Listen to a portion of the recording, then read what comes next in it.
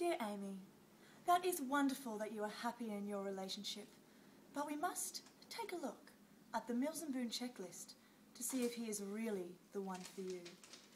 Does your man slip between absolute rejection and throes of passion?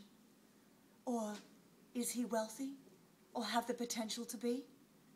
If you answered no to any of the above, perhaps a trip abroad would be good for you. Then you'll be able to see if your passion levels are right, or maybe your interests will lie with the pool boy.